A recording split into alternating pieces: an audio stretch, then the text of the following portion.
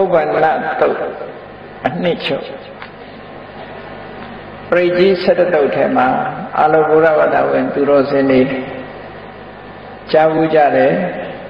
တချို့လဲရလဲရနေချတယ်နည်းနည်းမိုးတောက်တဲ့အချိန်လေးမှာရွတ်ဖတ်တယ်ဆဲပြီးတော့အာယုံပြုလို့ကောင်းတဲ့တုတ်တန်တစ်ခုရှင်းဆရာတော်တွေကစီစဉ်ပြီးတော့ဂါထာပုတ်ပေါင်း 39ပုံဖြင့်ပုဗ္ဗန္နသုတ်ကိုဖွဲ့စည်းပြီးတော့ဖော်ပြထားဘုရားဝန္တဝိနေနေစဉ်တောင်ကြီးကလေးဘွားကစပြီးတော့ပရိတ္တလို့ခေါ်တယ်အန္တရာယ်ကိုကင်းရှင်းစေနိုင်တဲ့ရသော်ဗျာဟောကြားတဲ့တရားတော်တွေကိုချက်မှတ်ကြတယ်အခါအားလျော်စွာပရိတရားတော်ကိုနာယူကြတယ်ရွတ်ဖတ်ကြတယ်တရစေကြအဲ့လိုရွတ်ဖတ်တရစေနာယူတဲ့ပရိတရားတော်တွေရဲ့ အတိဘယ်တွေကိုရှင်းရှင်းလင်းလင်းသိဖို့အမှန်တမ်းအရေးကြီးတယ်ရှင်းရှင်းလင်းလင်းသိလို့ရှိရင်ဒီပရိတရားတော်တွေထဲမှာနိဗ္ဗာန်ရောက်ကြောင်းအကျင့်တရားတွေရသော်ပြဟောဖို့ပြထားအဲ့ဒါကြောင့်မို့ပရိတရားတော်တွေဆိုတာနာယီယုံနေမကဘူးနာယီမှတ်သားပြီးတော့လေးလာပွားများကျင့်သုံးကြမယ်ဆိုလို့ရှိရင်မျက်မှောက်ဘဝမှာလည်းကောင်းကျိုးချမ်းသာတွေရနိုင်တယ်တမလွန်ဘဝမှာလည်းကောင်းကျိုးချမ်းသာတွေရနိုင်တယ် နောက်ဆုံးနိဗ္ဗာန်တိုင်အောင်မျက်မှောက်ပြုနိုင်အောင်အကျိုးရှိတဲ့တရားတွေဖြစ်သိရှိနားလည်ဖို့တော့လိုအပ်တယ်ဘုရားမြတ်စွာဟောကြားတဲ့တရားတွေဟာရှုံးကြည်ုံတက်တက်နဲ့မှတ်သားရမယ့်တရားမျိုးတွေမဟုတ်ဘူးသဘောပေါက်နားလည်ရမယ့်တရားတွေဖြစ်တယ်ဒါကြောင့်မို့မဂ္ဂင်၈ပါးထဲမှာဆိုရင်မြတ်စွာဘုရားကတမ္မာဒိဋ္ဌိမမှန်ကန်ကန်မြင်ခြင်းဆိုတဲ့အသိဉာဏ် ဘုရားဘာသာဝင်သူတော်စင်တွေအတွက်အရေးကြီးဆုံးအရာတစ်ခုဖြစ်တယ်နားလည်သဘောပေါက်မှပို့ပြီးတော့ကောင်းကျိုးချမ်းသာတွေရနိုင်တယ်ဒါကြောင့်မို့ဘာသာရေးကိစ္စလို့ဆောင်ရွက်တဲ့အခါမှာတခြားဘာသာတွေနဲ့မတူတဲ့ဘုရားဘာသာရဲ့ဆောင်ရွက်မှုကနားလည်မှုပေါ်မှာအခြေခံတယ်ပေါ့ဒါကြောင့်မို့အရာခတ်သိမ်းကိုနားလည်အောင်ကြိုးစားကြရတယ်အဲ့ဒီပုဗ္ဗနတ်တော်မှာဂါထာပုတ်ပေါင်း16ခုရှိတဲ့ထဲမှာ ရသော်ဘုရားဟောတဲ့ခါထာကတော့သူနခတ္တံသူမင်္ဂလာသုပ္ပဘာတံသူဥဋ္ဌိတံစတဲ့ခါထာတွေပဲမြတ်စွာဘုရားဟောရှေ့ပိုင်းကဂါထာတွေကတော့ရှေးကပညာရှိဆရာတော်တမေတော်ကြီးတွေနည်းနည်းမိုးတော့လင်းရောက်တဲ့ချိန်မှာရွတ်ဖတ်ပူဇော်ပြီးတော့ဘုရားကိုအာယုံပြုလို့နေခင်းနည်းနည်းခင်းကာလမှာကောင်းကျိုးချမ်းသာတွေရဖို့ နေ့လည်ခင်းကာလမှာကောင်းကျိုးချမ်းသာတွေရဖို့ညနေခင်းကာလမှာကောင်းကျိုးချမ်းသာတွေရဖို့ဆိုတဲ့တဏိတာကာလဖြတ်တန်းချိန်အကောင်းနဲ့ပဲဖြတ်တန်းဖို့ရအတွက်လမ်းညွှန်မှုပြုထားတဲ့သဘောပဲဒါကြောင့်မို့လူဆိုတာ24နာရီဟာနေ့စဉ်နဲ့အမျှဖြတ်တန်းပြီးတော့နေကြခုဘုန်းကြီးတို့တွေညအခါရောက်တဲ့အခါ နားနေအိပ်ဆက်ပြီးနားနေမိုးတော့လင်းရောက်တဲ့အချိန်ကနေစပြီးတော့နားနေပိုင်းနေ့လယ်ပိုင်းညနေပိုင်းဆိုတဲ့အပိုင်း၃ပိုင်းကိုဖြတ်တတ်ရအဲ့လိုဖြတ်တန်းတဲ့အခါမှာဘယ်လိုပုံစံနဲ့ဖြတ်တန်းရမယ်ဘယ်လိုနေရမယ်ဘယ်လိုထိုင်ရမယ်ဆိုတာဒီတုတ်တန်ထဲမှာလမ်းညွှန်ထားတာရှိတယ်အဲ့ဒီလမ်းညွှန်ချက်အတိုင်းလိုက်နာကျင့်သုံးနိုင်မယ်ဆိုလို့ရှိရင်မြတ်ဘဝမှာလည်းကောင်းကျိုးချမ်းသာတွေရနိုင်တယ်တမလွန်ဘဝမှာလည်းကောင်းကျိုးချမ်းသာတွေရနိုင် နောက်ဆုံးမှနိဗ္ဗာန်တိုင်အောင်ရောက်ရှိနိုင်တယ်အဲ့ဒါလို့ဒီစနစ်ကောင်းတွေကိုညွှန်ပြထားတာလူတွေဟာသိဖို့အမှန်တမ်းမှအရေးကြီးတယ်လို့ပြောတာနော်ဘဝဆိုတာသိသည်ဖြစ်စေမသိသည်ဖြစ်စေဘဝတစ်ခုကိုဖြတ်တန်းပြီးတော့အချိန်ကုန်ကြရမှာတော့တူတူပဲသို့တော့ဖြတ်တန်းပြီးအချိန်ကုန်တာချင်းတူပေမဲ့လို့အကျိုးရှိတဲ့လူအကျိုးမရှိတဲ့လူဆိုတာနှမျိုးဖြစ်တယ် ကောင်းကျိုးချမ်းသာတွေကိုရအောင်ယူနိုင်တဲ့ပုဂ္ဂိုလ်ဟာတကယ်လူလိမ္မာပညာရှိလို့ခေါ်တယ်ကိုယ်ဘဝခရီးမှာကောင်းကျိုးချမ်းသာတွေကိုရအောင်မယူနိုင်ဘူးဆိုလို့ရှိရင်ဘဝတစ်ခုဆုံးရှုံးနေတာဟော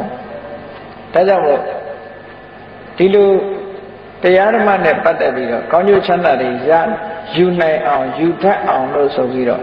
တရားဓမ္မနာယူကြရတယ်စာပေတွေသင်ယူကြရတယ် ဘယ်အရာကအရေးကြီးတယ်ဘယ်အရာကအရေးမကြီးဘူးဘယ်ဟာကတန်ဖိုးရှိတယ်ဘယ်ဟာကတန်ဖိုးမရှိဘူးလို့လောကလူတွေဟာပစ္စည်းဥစ္စာနဲ့ပတ်သက်ပြီးတော့ခွဲခြားဝေဖန်တတ်ကြပြီမဲ့လို့ကိုယ်ရင်ထဲနှလုံးထဲမှာဖြစ်စေရမယ့်တရားနဲ့ပတ်သက်ပြီးတော့ခွဲခြားမှုခွဲခြားသိတဲ့ပုဂ္ဂိုလ်အလွန်နည်းတယ်ပေါ့ဒါကြောင့်မို့လို့မှန်မှန်ကန်ကန်သိရှိနားလည်ဖို့ရသော်ဗျာဟောကြားတဲ့တရားတွေကိုကြားနာချရတယ်မှတ်သားကြရတယ် ဘောဓုဒဆိုတာစီဝူကြကဲပုဗ္ဗန္နတုတ်မှာအလုံးဘုရားဘာသာဝင်တွေသိတဲ့အတိုင်းပုဗ္ဗန္နဆိုတာနာနဲ့ခင်းလို့အဓိပ္ပာယ်ရတယ်နာနဲ့ခင်းမှာကောင်းသောနာနဲ့ခင်းဖြစ်ဖို့အတွက်အရေးကြီးတယ်ပေါ့လူတိုင်းမှာကောင်းသောနာနဲ့ခင်းဖြစ်သလားလို့ဆိုမဖြစ်ဘူးအိယာကနိုးထလာတဲ့အချိန်ကစပြီးတော့ နှုတ်ခမ်းကြီးစူးလို့မျက်နှာကြီးအောက်သိုးသိုးနဲ့နေတဲ့ပုဂ္ဂိုလ်ဘယ်လိုလုပ်ကောင်းသောနာနဲ့ခင်းဖြစ်မဖြစ်ဘူးတောကတွေရင်ထဲမှာပူလောင်မှုတွေနဲ့စိုးရိမ်မှုတွေနဲ့နာနဲ့ခင်းတစ်ခုကိုဖြတ်တမ်းမဲ့ဆိုရင်ဘယ်လိုလုပ်ကောင်းသောနာနဲ့ခင်းဖြစ်အဲ့တော့ကောင်းသောနာနဲ့ခင်းဖြစ်ဖို့အတွက်စိတ်ချမ်းသာကိုချမ်းသာနဲ့ ကိုယ်ရင်နဲ့နှလုံးထဲမှာအပြစ်ကင်းတဲ့သဘာဝတရားတွေဖြစ်အောင်လုပ်နိုင်မှကောင်းသောနာနဲ့ခင်းဆိုတာဖြစ်တယ်ဟောလူတွေဆိုတာမနဲ့မိုးလင်းလာလို့ရှိရင်နံပါတ်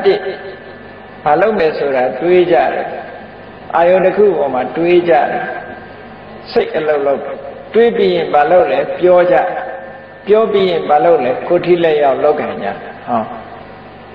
ပထမစိတ်ကူးတယ်ဒုတိယနှုတ်ကထုတ်ပြောတယ်တတိယကအလုံးလုံးတယ်ပြောလို့တာကကာယကံဝစီကံမနောကံဆိုတဲ့ထဲမှာမနောကံဆိုတာစတင်ပြီးတော့ဖြစ်လာမနောကံဖြစ်ပြီးရင်ဝစီကံဖြစ်တယ်ဝစီကံဖြစ်ပြီးမနောကာယကံဖြစ်တယ်လို့ကာယကံဝစီကံမနောကံလို့ဆိုတဲ့ဒီကံသုံးပါးနဲ့လှုပ်ရှားဆောင်ရွက်မှုတွေအတွက်ကိုယ့်အတွက်ကောင်းကျိုးချမ်းသာကိုရစေနိုင်တဲ့အလုပ်တွေဖြစ်ပါမှကောင်းသောနာနဲ့ခင်ဖြစ်မယ် အဲ့ဒါလို့မဟုတ်ဘဲနဲ့နာနဲ့ခင်ဖြတ်သားတဲ့အခါမှာမကောင်းတဲ့စိတ်တွေမကောင်းတဲ့အတွေးတွေမကောင်းတဲ့အပြောတွေမကောင်းတဲ့အလုပ်တွေနဲ့ဖြတ်တန်းသွားပြီဆိုရင်ဒီနတ်လက်ခင်းဟာအယုတ်ဆိုးအကြီးတန်းပြီးကိုယ့်အတွက်အကျိုးမဲ့ဖြစ်စေနိုင်တဲ့နတ်လက်ခင်းကြီးဖြစ်သွားတာပေါ့အဲ့ဒါလိုပဲနေလက်ခင်းတို့ညနေခင်းတို့ဆိုတာလဲကောင်းသောနေလက်ခင်းကောင်းသောညနေခင်းဖြစ်ဖို့လိုအပ်တယ်ပေါ့ နိုင်ငံသားတွေနောက်တိုင်းကလူတွေကနော်ဗမာတွေကတော့ဘယ်လိုသတ်မှတ်ပြီးတော့ပြောတာမရှိဘူးနောက်တိုင်းကလူတွေကတူနဲ့တူမိတ်ဆွေတွေမနေ့ပိုင်းမှတွေ့လို့ရှိရင်နှုတ်ဆက်ကြတယ် good morning လို့နှုတ်ဆက်တယ်ကောင်းသောနာနဲ့ခင်ပါတကယ်ကောင်းသောနာနဲ့ခင်ဖြစ်ဖို့ရအတွက်ဤစနစ်ကိုတော့မြတ်စွာဘုရားကဟောထားဘယ်လိုမှကောင်းသောနာနဲ့ခင်ဖြစ်တယ်အဲ့ဒီမှာတကယ်ကိုကောင်းတဲ့နာနဲ့ခင်ဖြစ်ဖို့အတွက် အခုဒီပုဗ္ဗနာတုတ်ထဲမှာလာတဲ့ကျင့်စဉ်တွေကိုကျင့်ဖို့စတင်ကြတဲ့ကနည်းနည်းမိုးတော့အလင်းရောက်လို့အဲ့ရကနိုးထလာတဲ့အချိန်လူတွေဟာအိတ်ဆက်နားနေတဲ့အချိန်မှာဘာတွေဖြစ်တတ်တုံးလို့ဆိုအိမ်မက်မက်တတ်တယ်အဲ့ဒါလို့အိမ်မက်မက်တဲ့အခါမှာကောင်းတဲ့အိမ်မက်ရှိတယ်လို့မကောင်းတဲ့အိမ်မက်တွေလည်းရှိတတ်တယ် အဲ့ဒါလို့အိမ်မက်နဲ့ပတ်သက်ပြီးတော့အကောင်းအဆိုးဆိုတာဘာကိုပြောတာတော့လို့ဆိုအိမ်မက်ထဲမှာကြောက်စရာလန့်စရာကိုမဖြစ်ချင်တဲ့အရာတွေဖြစ်ရတယ်လို့အိမ်မက်ထဲမှာမဲ့လို့ရှိရင်ဒါမကောင်းတဲ့အိမ်မက်ဒီလိုသတ်မှတ်ကြတာကောင်းတဲ့အိမ်မက်ဆိုတာကောင်းတဲ့အာယုန်တွေကိုမြင်ပြီးတော့မဲ့တဲ့အိမ်မက်မျိုးကောင်းတဲ့အိမ်မက်အဲတချို့အိမ်မက်ဆိုတဲ့နေရာမှာတချို့အိမ်မက်တွေကအကျိုးသက်ရောက်မှုဖြစ်ပေါ်စေတယ်တချို့အိမ်မက်တွေကအကျိုးသက်ရောက်မှုကိုမဖြစ်စေဘူး အိမ်မက်တိုင်းဟာကောင်းကျိုးဆိုးကျိုးဖန်တီးတာမဟုတ်ဘူး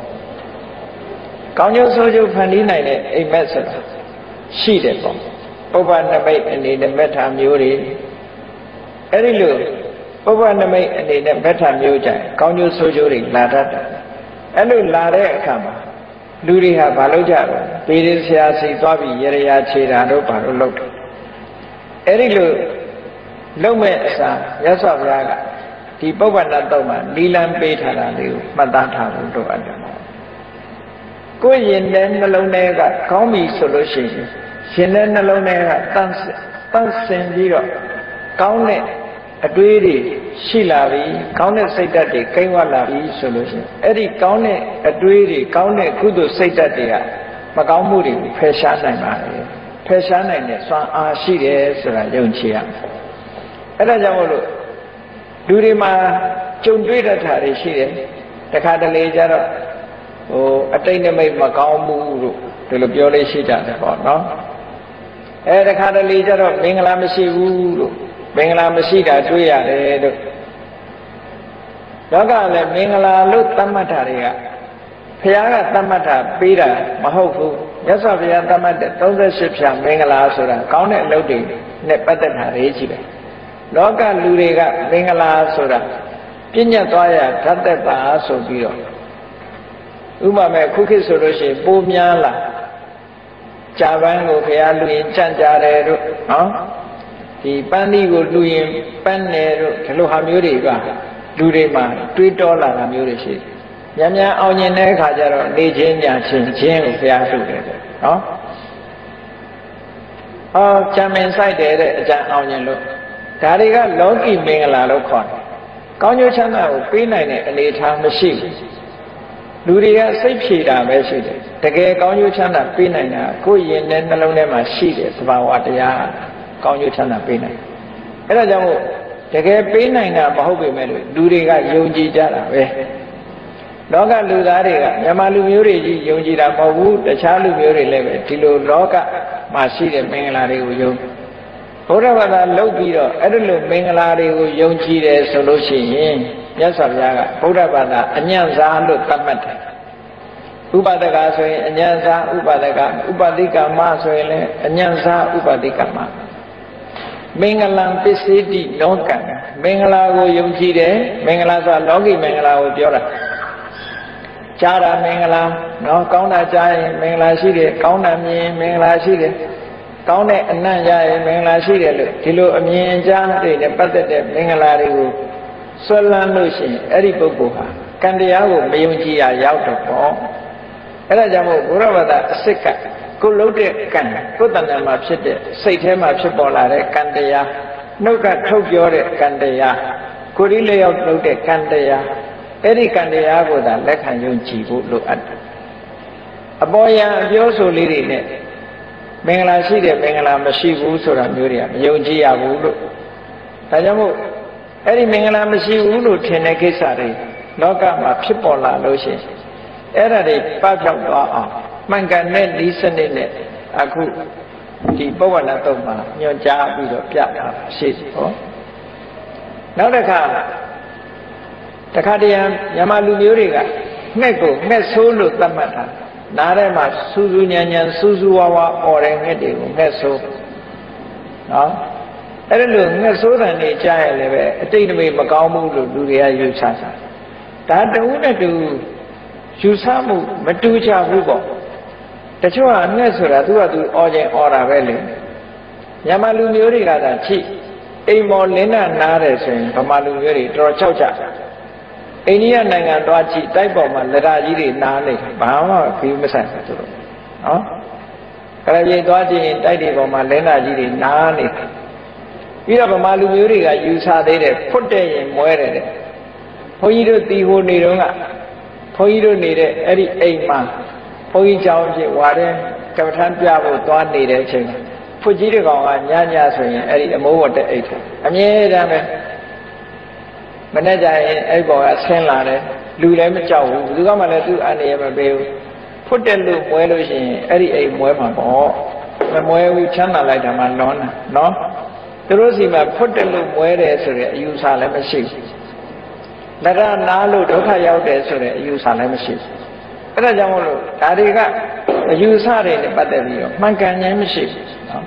ဆွဲလန်းလို့ရှိရင်စိတ်ဆွဲရင်ဥပါဒံဖြစ်တာပဲရှိတယ် အေးအဲ့ဒါလို့ဥပါဒံဖြစ်လာလို့ရှင်ပျောက်ကင်းဖို့ဆိုတဲ့ဟာတစ်ခုကမှန်ကန်တဲ့နီလန်းတစ်ခုကိုခုဒီမှာပြထားတာရှိတယ်အလုံးဒီကာထာကိုကြားလဲကြားဘူးကြတယ်နားလဲနားဘူးကြတယ်တန်ဃာတွေရွတ်ထာလဲကြားဘူးကြလိမ့်မယ်နော်အဲ့ဒီအဓိပ္ပာယ်ကိုပတ်သားကြဖို့ဟောနည်းနည်းမိုးတော့အလင်းရောက်လာလို့ကိုယ်စိတ်ထဲမှာအိမ်မက်မကောင်းတာမက်ပြီးဆိုလို့ရှင်မလုပ်လဲရဘုရားကိုရှိခိုးလို့ဘုရားကိုအာယုပြုပြီးတဲ့အခါ ယန္တုန်ိမိတ်တံအဝမင်္ဂလင်းစယောစာမနာဘောတကုဏတတ္တောပါပက်ခဟောဒုတုပိနံအကန္တံဗုဒ္ဓ ानु ဘာဝေနဝိတ္တတမင်တုတရားကိုအာယုပြုပြီးတဲ့အခါဓမ္မာနုဘာဝေနဝိတ္တသမင်တုတန်ခါကုံကိုအာယုပြုပြီးတန်ခါနုဘာဝေနဝိတ္တသမင်တုဆိုတဲ့ဟောဒီကထာလေးကိုရွတ်ပတ်ပြီးတော့စိတ်ထဲမှာနှလုံးသွင်းလိုက်လို့ကုသိုလ်တွေဖြစ်ပေါ်လာလို့ရှိရင် ခုနကပြောတဲ့အရာတွေအကုန်လုံးဟာခြေပြောက်တယ်လို့ဒီလိုပြောတာနော်ဘယ်လိုလုပ်ပြီးတော့ခြေဖြောက်တာတော့ဆိုရင်ထဲနှလုံးထဲမှာမကြည်မလင်ဖြစ်တဲ့အရာတွေဟာဖရာတရားတန်ခါကိုအာယုပြုလိုက်တာနဲ့ကုသိုလ်တွေရသွားပြီးရင်ထဲနှလုံးထဲမှာကြည်လင်ရှင်ပြသွားတယ်အဲ့ဒီသဘောနဲ့နော်ပျောက်တာကိုဆိုလို့ဒါကြောင့်မို့လို့ဒုံနိမိတ်တာဆိုတာမကောင်းတဲ့နမိတ်တွေအဝမင်္ဂလမင်္ဂလာမရှိတဲ့အရာတွေ ယောစာမနာဘောတကုဏတတာတော်နားထောင်ရတာနော်မနှစ်သက်เสียကောင်းတဲ့ငှက်ရဲ့အတန်လေးငှက်ဆိုးရဲ့အတန်လေးပါပက်ခဟောမကောင်းတဲ့ဂျူစီစာတာစတာခန့်ကြမာတွေထုတ်သူပိနံအဂတံနှစ်သက်เสียမကောင်းတဲ့အိမ်မက်ဆိုးတွေတဲ့အဲ့ဒီမကောင်းမှုလို့ လူတွေရဲ့စိတ်ထဲမှာစိတ်ထဲမှာမတန့်လို့မကောင်းဘူးဆိုတဲ့အရာတွေအလုံးဟာမြတ်စွာဘုရားကိုအာယုံပြုပြီးတော့ရလိုက်တဲ့ကုသိုလ်ရဲ့စွမ်းအားနဲ့အလုံးကြည်ပြောက်သွားပါစေလို့ဒီလိုဆိုတာနော်အဲ့တော့ဘုရားကိုအာယုံပြုလိုက်လို့ရှိရင်ဘုရားကိုအာယုံပြုလိုက်လို့ရလိုက်တဲ့ကုသိုလ်ဟာဗုဒ္ဓတပူဇံမဟာတေသဝန္တော်ဆိုတဲ့အတိုင်းစွမ်းအားတတ္တိတွေပြည့်ဘုရားကိုအာယုံပြုကြည့် အာယုံပြုလိုက်လို့စိတ်ထဲမှာကြည်နူးပြီးတော့ဘုရားကုံတွေထဲမှာစိတ်ထဲမှာကြည်နူးလာပြီဆိုလို့ရှိရင်အဲ့ဒီကုသိုလ်ဟာအခုပြောခဲ့တဲ့မကောင်းတဲ့အရာတွေကိုယ်အလိုမရှိတဲ့အရာတွေကိုယ်တဏ္ဍာမှာမဖြစ်အောင်ကာဝယ်ဆောက်ရှောက်ပြီးသားဖြစ်ပါတယ်မှန်ကန်တဲ့နီလန်းနဲ့ပြောတာနော်ဒီတိုင်းလုပ်လို့ရှိရင်ဆိုလိုတာကရရရာကြည်ပြီးသားဖြစ်တယ်လို့ဒီလိုပြောတာနော် အဲ့တော့ရေရချီတယ်ရေရချီတယ်နဲ့သူတွေကရတော့အဖြစ်ဘုရားဘာသာတွေဗေဒင်ဆရာဟာရေရချစ်ခိုင်းလေဖယားနဲ့ပတ်သက်တာတွေပြောရေရချီတယ်ဆိုတဲ့လုပ်ငန်းကဗမာလူမျိုးတွေသာလုပ်တာမဟုတ်ဘူးတခြားနိုင်ငံတွေမှာလည်းပဲရှိတယ်ကိုယုံကြည်ရလုပ်ကြဥပမာမဲ့ဆိုပါစို့ထမင်းစားနေတော့စပွဲမှာထိုင်းနေရင်ကနေပြီးတော့အဲစားဘူးလေးကိုဒီဘက်ပေးလိုက်စမ်းပါလို့ စားဘူးလေးကမ်းလိုက်စမ်းပါလို့မမီလို့လှမ်းတောင်းတယ်တစ်ဖက်ကအဲ့ဒါလှမ်းတောင်းတာကိုပေးလိုက်တဲ့အချိန်မှာစားလေးဖိတ်သွားလို့ရှိရင်ဒါကံမကောင်းမှုလို့ယူဆနော်ကံမကောင်းမှုလို့ယူဆအဲ့ဒါကိုဘလို့ရေရရာခြေရတော့ဆိုစားလေးကိုအနည်းငယ်ယူပြီးတော့ပခုံးကိုကြော်ပြီးတော့ဟိုဘက်ကိုလှမ်းပြီးတော့ပက်လိုက်ရတယ်တဲ့အဲ့လိုပက်လိုက်လို့ရှိရင်ရေရရာခြေတယ်တဲ့တဘာဝကြံပြကိုယ့်ကိုစဉ်းစားကြည့်တယ် စားဖိတ်တဲ့အပြင်နောက်ထပ်ပြန်ပြီးတော့ပက်တော့စားကုန်တာပဲရှင်မှာပေါ့အဲအခုကအဲ့လိုမျိုးမဟုတ်ဘူးနော်ဘုရားကိုအာယုပြုလိုက်တယ်ဘုရားရှိခိုးလိုက်တယ်ဘုရားရှိခိုးလိုက်ရင်စိတ်ထဲမှာကြည်နူးတယ်ဝမ်းသာတယ်ကုသိုလ်တွေရအဲ့ဒီရတဲ့ကုသိုလ်ရဲ့စွမ်းအားနဲ့ခုနစိတ်ထဲမှာမကြည်မလင်ဖြစ်နေတာအိမ်မက်ဆိုးတွေလို့ကံမကောင်းမှုလို့ယူမကောင်းမှုလို့ဆိုတာတွေဟာပျောက်မသွားဘူးလားပျောက်သွားနိုင်တယ်ဒါကြောင့်ဗေဒဆရာတော်မေးစရာမလိုဘူး တန်တဲ့မိုးတော့အလင်းရောက်တဲ့အချိန်လေးမှာဘုရားကိုအာယုပြုပြီးတော့ဒီကာရလေးနဲ့နှလုံးသွင်းပြီးရွတ်ဆိုလိုက်မယ်ဆိုလို့ရှိရင်ကောင်းကျိုးချမ်းသာတွေရနိုင်ပါတယ်လို့ဟောဒီသုံးခါထာနဲ့ဒီလိုအတိတ်ပဲရှိနော်ဒုံနိမိတ်တာဆိုမကောင်းတဲ့နမိတ်တွေအဝမင်္ဂလာဆိုမင်္ဂလာမရှိတဲ့အရာတွေရောစာမနာဘောတကုဏတတတောဆိုညနိုးစရာနှစ်သက်စရာမကောင်းတဲ့ငှက်ဆိုးရဲ့အတန်တွေပါပက်ခဟောဂျူဆူ ဂျိုဆိုးတွေတုတ်တုပိနံအဂတံစိတ်ထဲမှာမကြည်မလင်ဖြစ်စေတတ်တဲ့မကောင်းတဲ့အိမ်မက်ဆိုးတွေဟာမြတ်စွာဘုရားကိုအာယုံပြုပြီးတော့ဖြစ်ပေါ်လာတဲ့ကုသိုလ်ရဲ့စွမ်းအားနဲ့ပျောက်ကွယ်သွားပါတယ်လို့ဒီလိုပြောတာနော်။ဩအဲ့ဒီနောက်ကြည့်ဒါကနီးတစ်ခုပြောတာဒီတနည်းနဲ့လည်းပဲ ကောင်းတဲ့နတ်နဲ့ခင်းတစ်ခုဖြစ်ပေါ်လာစေတိုင်းပဲပေါ့။ဘုရားကိုအာယုံပြုခြင်းဖြင့်ကုသိုလ်တွေရလာတဲ့အတွက်ကြောင့်ကိုယ့်အတွက်မှဒါကောင်းသောနတ်နဲ့ခင်းမယ်။အဲ့ရထားလိုက်တာနဲ့ကောင်းသောနတ်နဲ့ခင်းဒီလိုဖြစ်သွားတယ်လို့ဒီလိုဆိုလိုတာ။ဟောတဏိတာလုံးမှာတနေ့တာလုံးမှာအလုပ်တွေလုပ်ရမယ်အိမ်ပြင်ထွက်ရမယ်လုပ်ငန်းကင်တာတွေတွားရမယ်လုပ်ရမယ်လုပ်ရမယ်တွားတဲ့အခါကျတော့အန္တရာယ်ဆိုတာခြုံတတ်တယ် အက်ဆီဒင့်အက်ဆီဒင့်နဲ့ပြောကြတယ်မမျော်လင့်မဲနဲ့ဖြစ်တာကိုအက်ဆီဒင့်လို့ခေါ်တာပဲအဲ့တော့အန္တရာယ်ဆိုတာတွေကိုခြုံတတ်တော့ဒီအန္တရာယ်တွေမကြုံကြရအောင်ဘာလို့ဖို့လိုအပ်တယ်လဲဆိုတာမှန်ကန်တဲ့ဤတစ်ခုနဲ့အန္တရာယ်တွေကိုမကြုံမှုအရာအတွက်ဟောဒီဒုတိယတတိယမြောက်သရုတ်ထမြောက်ခါထာလေးကဗာပြောတော့ဆိုတပ္ပိဗုဒ္ဓပလပတ္တ ပိစိကနိသယံပလံအရဟန္တာနိသတေစေနရက္ခံပန္နာမိသဗ္ဗတောရက္ခဆိုတာအဆောင်အရှောက်အကာအကွယ်တစ်ခုလုပ်လိုက်တယ်အေးဒါကြောင့်မို့လို့ပြောကြတယ်ခရီးသွားလို့ရှိရင်တန်ဖို့တွေရွတ်သွားတယ်ဆိုတန်ဖို့တွေဆိုဘုရားရှိခိုးတာပဲဘုရားကိုအာယုံပြုပြီးတော့ရှိခိုးတာဒါလည်းဘုရားကိုအာယုံပြုလိုက်တဲ့ချင်းကိုယ်စိတ်ထဲမှာကုသိုလ်တွေဖြစ်သွားတယ်အဲ့ဒီကုသိုလ်ကကာဝယ်ဆောင်ရှောက်တယ်လို့ဆိုလိုတာ ကုသိုလ်ရအောင်လုပ်ဖို့တော့လိုအပ်တယ်ပေါ့ဘုရားကိုအာယုံပြုဖို့လိုအပ်တယ်အခုကြည့်ဒီကာတာလေးရဲ့အဓိပ္ပာယ်ကဘလောက်ကောင်းလို့ဆိုတော့ရက္ခံဗန္နာမိသဗ္ဗတောအရက်ခတ်သိမ်းကနေပြီးတော့ကိုယ့်အတွက်အကာအကွယ်ဖြစ်အောင်အဆောင်ရှောက်ကိုလုပ်ပါတယ်တဲ့။ဘာနဲ့အဆောင်ရှောက်ကိုလုပ်တာလို့ဆိုတပ္ပိဗုဒ္ဓဗလပ္ပတ္တဖရာတွေဆိုတာစွမ်းအားအမတမကြီးတယ်။ကာယဗလညာနာဗလဆိုတာလို့စွမ်းအားကြီးတယ်။ ဖရာမှန်များစွမ်းအားတွေအမတန်ကြီးတယ်။အဲ့ဒီဖရာတွေရဲ့စွမ်းအားကိုအသုံးပြုပြီးတော့ဟုတ်လားအန္တရာယ်ခင်းမှုကိုစောင့်ရှောက်မှုကာကွယ်မှုကိုစီမံပါတယ်လို့ဒီလိုပြောတာဆိုလိုတာကမြတ်စွာဘုရားရဲ့ခုံကိုချီးကျူးလိုက်တာပဲတပ္ပိဗုဒ္ဓဗလပတ္တာဆိုဘုရားရှင်တွေအားလုံးဟာကာယဗလညာနာဗလဆိုတဲ့စွမ်းအားတွေကိုရရှိထားတာဖြစ်ပါတယ်အဲ့ဒီဘုရားရဲ့စွမ်းအားတွေနဲ့ကျွန်ုပ်အကာအကွယ်လုပ်ပါတယ် ဒါလည်းအမြဲတမ်းမှန်ကန်တဲ့ဤစနစ်နဲ့လုပ်တာဖြစ်တယ်ပေါ့နော်ပိစိကနိသယံပလံဖရာတွေမကဘူးပိစိကဘုရားအရှင်မြတ်တွေလည်းစွမ်းအားတွေရှိတယ်အဲ့ဒီစွမ်းအားတွေနဲ့ကာကွယ်လုပ်ပါအရဟန္တာနိသတေစေတယဟနာပုဂ္ဂိုလ်ရဲ့အရှိန်ဝါတွေလည်းရှိတယ်အဲ့ဒီအရှိန်ဝါတွေကိုတုံးချပြီးတော့ဟုတ်လားကိုယ့်အတွက်အကာအကွယ်ဖြစ်စေပါတယ်လို့ဒီလိုပြောတာအဲ့တော့ ဖရာကိုချီးမွမ်းပြီးတော့ဖရာရဲ့စွမ်းအားတွေရင်ထဲရောက်အောင်လုပ်တယ်တရားရဲ့စွမ်းအားဒီပိစိကဗုဒ္ဓရဲ့စွမ်းအားတွေရင်ထဲရောက်အောင်လုပ်တယ်ယန္တာပုဂ္ဂိုလ်မြတ်တွေရဲ့စွမ်းအားဒါအာယုပြုဖို့တော့လိုအပ်တယ်ပေါ့နော်လောကမှာပွင့်သွားတဲ့ဘုရားတွေအများကြီးရှိတယ်အဲ့ဒီပွင့်သွားတဲ့ဘုရားတွေကိုစိတ်ထဲကအာယုပြုလိုက်ပြုပြီးတော့အဲ့ဒီဘုရားတွေအားလုံးဟာစွမ်းအားကြီးမားတော်မူကြတယ်တခါပိစိကဗုဒ္ဓတွေပွင့်သွားကြတာလဲတာမဟုတ်ဘူး အဲ့ဒီပိစိကဗုဒ္ဓတွေရဲ့စွမ်းအားလည်းမနမကြီးမားတယ်လောကမှာယဟန္တာပုဂ္ဂိုလ်တွေဆိုတာရှိတယ်ယဟန္တာပုဂ္ဂိုလ်တွေမှာလည်းစွမ်းအားအမတမကြီးတယ်အဲ့ဒီအရှင်မြတ်တွေရဲ့စွမ်းအားဟာကျွန်ုပ်တို့အဆောင်ရှောက်ဖြစ်ပါစေဒါအမတန်ကောင်းတဲ့အဓိပ္ပာယ်ဘုရားတရားတန်ခါကိုကိုကတတိယပြီးတော့စောင့်ရှောက်လုပ်တဲ့အဓိပ္ပာယ်မျိုးဖြစ်တယ်ပေါ့အဲ့တော့နန္ဒခေမှာအိမ်ပြင်ထွက်အလုံးလုံးခီးသွားအလုံးလုံးတဲ့အခါမှာ ဒီလိုအကာအကွယ်စောင့်ရှောက်ကလေးနဲ့လှုပ်သွားဖို့အတွက်ပုဗ္ဗန္နတုတ်ထဲမှာဒါကိုလည်းထည့်သွင်းပြီးတော့ရေးသားထားကြဒါကနံပါတ်၄ကထာနောက်တစ်ခါနံပါတ်5နံပါတ်6နံပါတ်9အဲ့ဒီဂါထာသုံးခုကယရဏတုတ်မှာပါပြီးတာတစ္ဆာဆိုတာလောကမှာတစ္ဆာဟာအစွမ်းတကူအမတ္တမထက်တယ် လူတွေကတစ္ဆာဆိုတာအမတ္တမနဲကြတကယ်ကိုယ့်အကိုတစ္ဆာဆိုပြီးတော့ကိုလိုချင်တဲ့အရာတစ်ခုကိုတောင်းလို့ရှိရင်တစ္ဆာရဲ့စွမ်းအားဟာရှိတယ်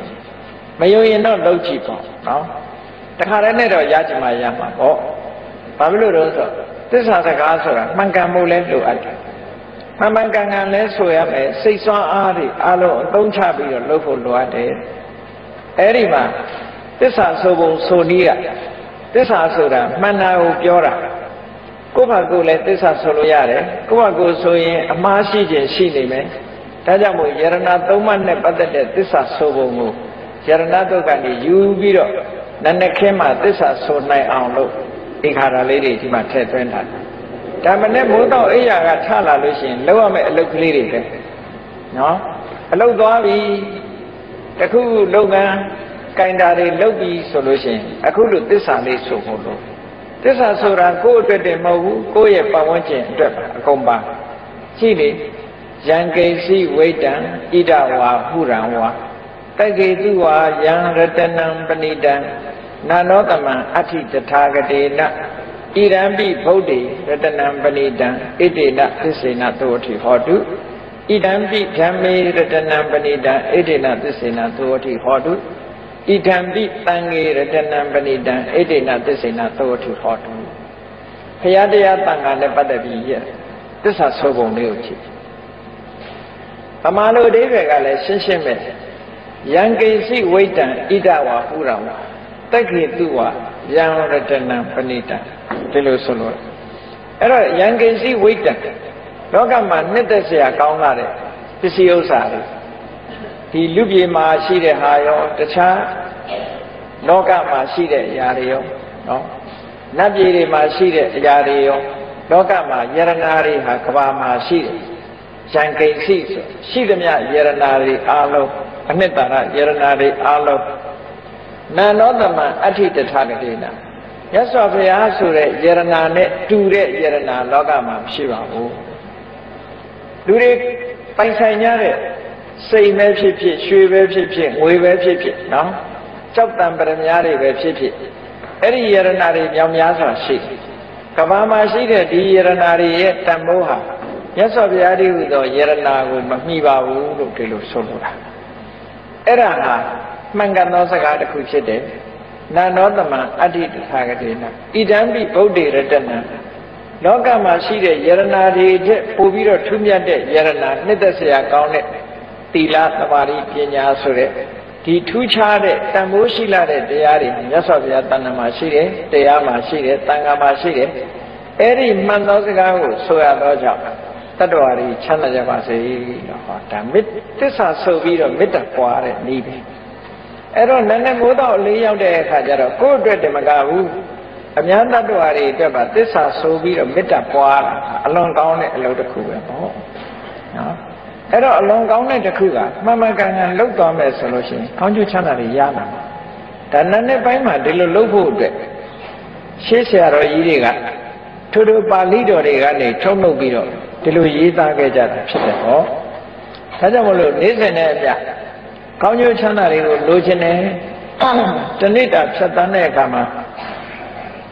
နာနဲ့ပိုင်းမှာကောင်းကျိုးချမ်းသာတွေရချင်တယ် နေ့လယ်ပိုင်းမှာကောင်းကျိုးချမ်းသာတွေရကြတယ်ညနေပိုင်းမှာကောင်းကျိုးချမ်းသာတွေရကြတယ်ဆိုဒီဟာကိုလိုက်လာချဟောနောက်တစ်ခုစိတ်ရဲ့ဆန္ဒဆိုတာအမှန်တမ်းကြီးမားတယ်လူတွေကဟိုအမတ်တမဲ့နေလို့ဆန္ဒဆိုတာကြီးမားတယ်ဆိုတာလူတွေကမသိဘူးကြည့်လေတရားနာခြင်းနဲ့ဆန္ဒရှိတော့ဒီထိရောက်လာနော် နာကျင်တဲ့ဆန္ဒမရှိဘူးဆိုရောက်ပါမလားရောက်ဘူးအဲ့ဒါဆန္ဒကပို့တယ်လို့ခေါ်တယ်နော်ဆန္ဒမရှိတဲ့သူကအိမ်မှာပဲနေမယ်လေဆန္ဒရှိတော့လူဟာဘလောက်ဝေးဝေးတရားပွဲဆိုရောက်လာ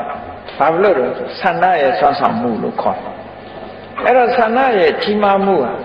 အစွမ်းဆောင်နိုင်မှုကဘလောက်ကြီးလဲ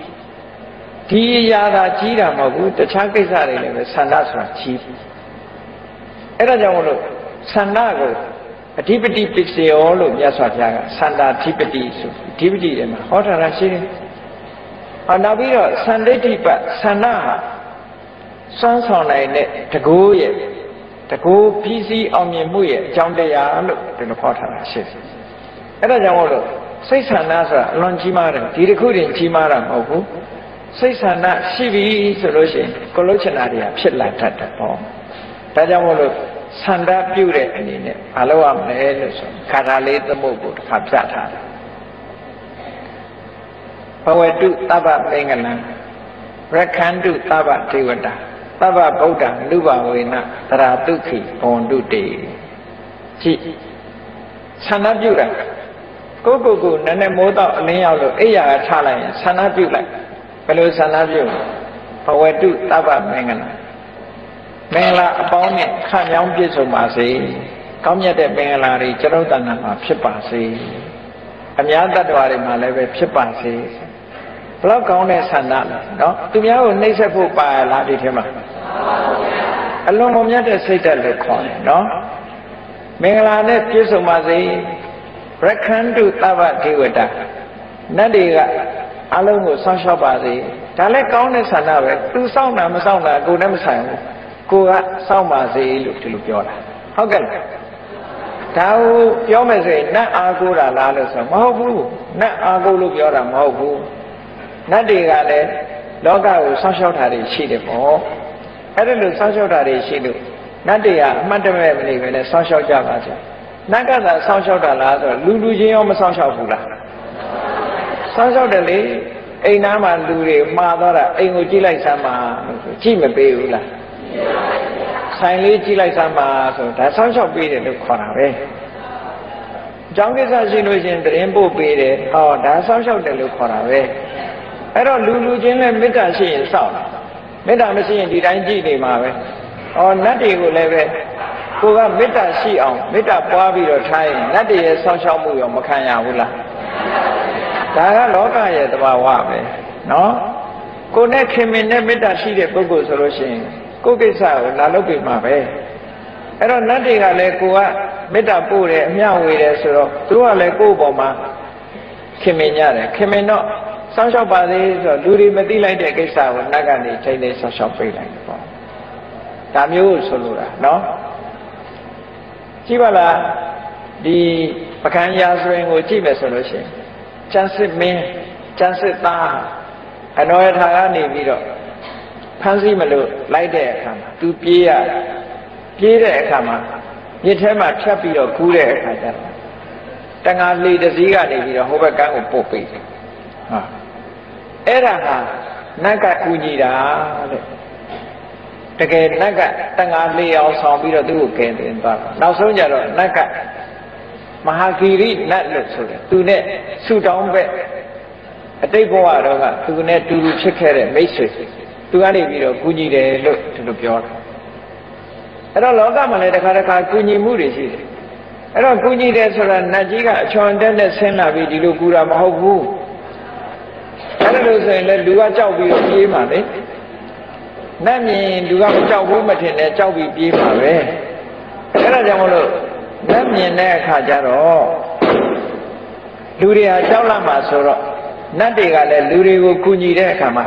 လူတယောက်ယောင်ပဲဆောင်ပြီးတော့ကူညီတာပါဒီလိုဆိုတာနော်ကိုကနေဘူးထဲမှာရက်ပြီးတော့ကားဆောင်နေတယ်ဘာစကားကမလာနိုင်ဘူးသွားချင်နေတယ်သို့တော့အနန္တဖြတ်သွားတဲ့ကားတစ်စီးကလူကြုံလို့တင်သွားတယ်ဆိုတာတွေရောမကြုံတတ်ဘူးလားအေးနတ်ကမတယ်ဆိုတာတခါတည်းရအဲ့ဒါမျိုးလို့ပြောတာနော်ကိုသွားခြင်းတဲ့ကိစ္စတခုကိုလုံးချင်တာလေးတခုဟာတခါတလေရှော့ရှော့ဆူယူနဲ့ကုညီပဲလူနဲ့ သိသည်ဖြစ်စေမသိသည်ဖြစ်စေကိုကုညီသွားတဲ့လူတွေနဲ့ကြုံတတ်တယ်ကော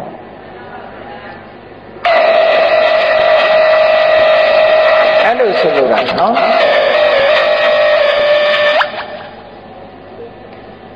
အဲ့ဒါကြောင့်မလို့ရခန္တုသဗ္ဗဒေဝတာနတ်တွေကဆောင်းလျှောက်ပါစေကူညီပါစေတဗ္ဗဗုဒ္ဓလူဘဝေနသရာဒုက္ခိဖွန်တုတေ ဘုရားကိုအာယုံပြုပြီးတော့ရလိုက်တဲ့ကုသိုလ်တွေဟာချမ်းသာဒုက္ခကိုပေးနိုင်တယ်ကုသိုလ်အမှချမ်းသာဒုက္ခကိုပေးနိုင်တယ်ဒါကြောင့်မို့ဘုရားကိုအာယုံပြုတယ်ဘုရားကိုအာယုံပြုလို့ဖြစ်ပေါ်လာတဲ့ကုသိုလ်စိတ်တွေကိုယ်ရင်နဲ့နှလုံးထဲမှာဖြစ်လာတယ်အဲ့ဒီကုသိုလ်တရားတွေကလူတွေရဲ့သဏ္ဍာန်မှာချမ်းသာဒုက္ခကိုဖြစ်ပေါ်စေတယ်ဒါကကုသိုလ်ကမှချမ်းသာဒုက္ခကိုဖြစ်စေတယ်ဆိုတာဒါအမှန်ပဲ ကုသိုလ်ဆိုတာအနဝိဇ္ဇဒုက္ခဝိပါကလက္ခဏာအပြစ်ကင်းပြီးတော့ချမ်းသာဒုက္ခကိုဖြစ်စေတတ်တာကုသိုလ်အဲ့ဒါကြောင့်မလို့ကုသိုလ်ကောင်းမှုဆိုတာလောက်ကြဘုရားကိုအာယုံပြုတဲ့အာယုံပြုလိုက်လို့ရလာတဲ့ကုသိုလ်တရားကိုအာယုံပြုလိုက်လို့ရလာတဲ့ကုသိုလ်တန်ခါကိုအာယုံပြုလိုက်လို့ရလာတဲ့ကုသိုလ်အဲ့ဒီကုသိုလ်ရဲ့စွမ်းအားကြောင့်ချမ်းသာကြပါစေဒီလိုဆိုတာအဲ့တော့ အဲ့ဒါလို့ဘုရားတရားတန်ခါမနဲ့မိုးလင်းတဲ့အချိန်လေးမှာဘုရားတရားတန်ခါယရနာသုံးပါးကိုအာယုပြုလိုက်မယ်ဆိုရင်မင်္ဂလာတွေလည်းဖြစ်လာမယ်နတ်တွေကလည်းကိုယ်ဆောက်ရှောက်လာမယ်ချမ်းသာဒုက္ခဆိုတာလည်းရလာနိုင်တယ်လို့အကြောင်းတရားတွေကိုပြောပြမလို့ရင်တော့မရဘူးပေါ့နော်ကိုယ်တဏ္ဍာမှာကောင်းကျိုးချမ်းသာကိုလိုချင်ရင်ကောင်းကျိုးချမ်းသာရခြင်းရဲ့အကြောင်းကိုလောက်ရဒါကတော့သဘာဝပဲလေ ဒါကတော့တဘာဝမလုံးလို့ကတော့ဘာမှမရဘူးဆိုတာသိချတာပေါ့အဲ့တော့လုံးထား6ရနိုင်တဲ့အလုပ်မျိုးကိုလုပ်ချတာဟောနောက်တစ်ခုကျတော့ဘာလို့ဆိုဘုရားကိုအာယုပြုတဲ့သဘောမဟာကရုဏိကောနာထောဟိတယသဗ္ဗပါဏိနာပုရိတဝပါရမီတဗ္ဗပတ္တောတံဘောဓိမုဒ္ဓမဘုရားကိုအာယုပြုလိုက်တယ်ဘုရား တတ္တဝါတွေဒုက္ခရောက်နေတာကိုအမှန်တမ်းတနာတယ်ဒုက္ခရောက်နေတယ်ဆိုတာရှင်းတော့ဒုက္ခရောက်တယ်ဆိုတာလူတွေကထင်တယ်လူတိုင်းဒုက္ခမရောက်ဘူးလို့ထင်တယ်ဟုတ်တယ်မရောက်တဲ့ဒုက္ခမရောက်ဘူးသို့တော့လူတိုင်းရောက်နေတဲ့ဒုက္ခကိုသိရလားလူတိုင်းဒုက္ခဘာရောက်နေတယ်ဆိုရင်တနေ့ပြီးတနေ့အိုးလာတဲ့ဆရာဒုက္ခနာတဲ့ဗျာတိဒုက္ခသိတဲ့မရဏဒုက္ခလူတိုင်းမရောက်ဘူးလား အဲ့ဒါကတဘဝလားဘဝပေါင်းမြောက်များစွာလားအဲ့ဒီဒုက္ခကဘာလူမျိုးဖြစ်ဖြစ်ဘာဘာသာဝင်ဖြစ်ဖြစ်နော်လူရလာတာနဲ့တပြိုင်နက်အိုခြင်းဆင်းရဲနာခြင်းဆင်းရဲသိခြင်းဆင်းရဲလွတ်တယ်လို့ရှိရတယ်အဲ့တော့လူတွေဟာအလုံးဒုက္ခရောက်နေကြတာအဲ့ဒါသနာစရာအကောင်းဆုံးပဲပေါ့ဒီပြင်ဒုက္ခဆိုတာရောက်ချင်မှရောက်တယ်လေ သာဝနေမပြေလဲတာလူတိုင်းမဟုတ်ဘူးစီးပွားရေးမပြေလဲတာလည်းလူတိုင်းမဟုတ်ဘူးလူတိုင်းဖြစ်နေတဲ့ဒုက္ခကအိုခြင်းဆင်းရဲနာခြင်းဆင်းရဲသိခြင်းဆင်းရဲပဲအဲ့ဒါကနေရှောင်လွဲလို့မရဘူးအဲ့ဒါတွေကိုမြင်ပြီးတော့မြတ်စွာဘုရားကဒီအိုခြင်းဆင်းရဲနာခြင်းဆင်းရဲသိခြင်းဆင်းရဲတွေကလွတ်တဲ့နိလန်းကိုရရှိဖို့ဆိုပြီးတော့အမတမကရုဏာကြီးမားတဲ့မြတ်စွာဘုရားဟာပါရမီတွေကိုဖြစ်ကျင့်ပြီးတော့ ထိုအိုခြင်းဆင်းရဲနာခြင်းဆင်းရဲသိခြင်းဆင်းရဲကလွတ်မြောက်ရလွတ်မြောက်ကြောင်းဖြစ်တဲ့တရားသူတရားမြတ်ကိုသိအောင်ကြိုးစားခဲ့လို့ဘုရားဖြစ်သူရောက်သွားတယ်အဲ့ဒါဟာမှန်ကန်သောစကားတစ်ခုပဲလုံးဝလွဲမှားခြင်းမရှိဘူးအဲ့ဒီမှန်ကန်သောစကားကိုဆိုရခြင်းကြောင့်အာလုံးတ attva တွေချမ်းသာကြပါစေလို့ဒါလည်းသစ္စာဆိုပြီးတော့မေတ္တာပို့တဲ့သဘောပဲနော်ဟောနောက်တစ်ခုကဘာပြောတော့ဆို လောကလူတွေကဘယ်ကိစ္စဖြစ်ဖြစ်အောင်မြင်ကြတယ်အောင်မြင်တယ်ဆိုတာအောင်မြင်ပြီဆိုလို့ရှိရင်အောင်တဲ့ပုဂ္ဂိုလ်ရဲ့ခုံကိုအာယုပြုတာဟာဒါမှန်ကန်တယ်သဘာဝကြတယ်ပတ်စံလိုချင်ရင်ပတ်စံရှိတဲ့ပုဂ္ဂိုလ်စီသွားရမှာလားပတ်စံမရှိတဲ့ပုဂ္ဂိုလ်စီသွားရမှာလားပတ်စံရှိတဲ့ပုဂ္ဂိုလ်စီသွားမှပတ်စံရနိုင်မှာပေါ့နော်ပညာလိုချင်ပညာရှိတဲ့ပုဂ္ဂိုလ်စီသွားရဒါသဘာဝပဲပေါ့ အဲ့တော့အောင်မြင်ခြင်းအောင်ပွဲရတဲ့ပုဂ္ဂိုလ်စီပဲသွားတဲ့ပေါ့အဲ့ဒါကြောင့်မလို့ဒီကာထာလေးဆိုထားပုံကိုကြည့်ဟောဆယံတော်ဘောဓိယာမူလေတัจ jana နန္တိဝတ္တနောတัจ jana နန္တိဝတ္တနောဆိုတာတာဂိဝင်မင်းသားတွေထဲမှာအလွန်နှစ်သက်မှုကိုတာဂိဝင်မင်းတွေရဲ့တာဂိဝင်လူမျိုးတွေရဲ့နှစ်သက်မှုကိုတိုးပွားစေတတ်တယ်နော်ရသော်ဘုရားသခင်ကိုရောမြတ် ဆယံတော်ဘောဓိယာမူလေဘောဓိပင်ရင်းမှာမနတ်ရဲ့ရံကိုအောင်ခဲ့တယ်တာဂဝေမင်းကြီးရဲ့နှစ်သက်မြတ်နိုးမှုကိုကြီးပွားစေတတ်တဲ့တိုးတက်စေတဲ့ဘုရားလောင်းဟာဘောဓိပင်ရင်းမှအောင်ပွဲကြီးရခဲ့တယ်ဆိုတာဒါဟုတ်တယ်မှန်တယ်နော်လုံးဝအရှုံးမရှိတဲ့အောင်ပွဲကြီးကိုရတယ်ဧဝမေဝဇေယောဟောတုတဲ့အဲ့ဒီလိုအောင်မြင်မှုကျွန်တော်မှဖြစ်ပါစေဒါနဲ့ wish ပဲဆန္ဒကိုပြော ဆန္ဒရှိရင်တကယ်ဆန္ဒကြီးလို့ရှိရင်ဖြစ်လာတာပဲပေါ့နော်အေးအဲ့ဒါမျိုးကိုယ်တဏ္ဍမှာဖြစ်ပါစေဧဝမေဝဇေယောဟောတုဇယတုဇယမင်္ဂလေအောင်မြင်မှုရအောင်မင်္ဂလာတွေမှာအောင်မြင်မှုကိုကျွန်ုပ်ရချင်ပါတယ်ရပါရစေပါလို့ဆိုတဲ့ဆန္ဒပြုတဲ့အခါထားအဲ့တော့မနေ့အိယာကထားပြီးတော့ဒီနေ့လုပ်ငန်းကိုင်တာတွေလှုပ်ရှားရှိတယ်သွားစရာတွေရှိတယ်လာစရာတွေရှိတယ် ဘဝမှာအောင်မြင်မှုကိုရချင်တယ်ဒါကြောင့်မို့အောင်ပွဲရတဲ့မြတ်စွာဘုရားရဲ့ခုံကိုခိတ္တခဏလေးအာယုံပြုပြီးတော့ကျွန်ုပ်လည်းပဲအောင်မရစေပါလို့ဆိုဒါအကြောင်းနဲ့အကျိုးမစီလျော်ဘူးလား